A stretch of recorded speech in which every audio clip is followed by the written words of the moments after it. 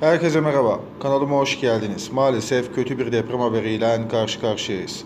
AFAD ve Kandili Restorans tarafından yapılan açıklamalara göre İzmir'in Menderes ilçesinde deprem meydana geldiği ifade edildi.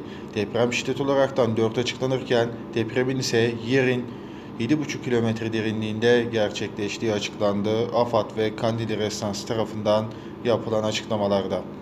İzmir, Menderes, Özdere'ye 9 kilometre, Menderes, Ahmet Beyliğe 11 kilometre, Çileköy'e 13,5 kilometre, Gölova'ya 16 kilometre, İzmir merkeze ise 60 kilometre mesafe uzaklıkta gerçekleştiği açıklandı. AFAD ve Kandili Resans tarafından yapılan açıklamalarda.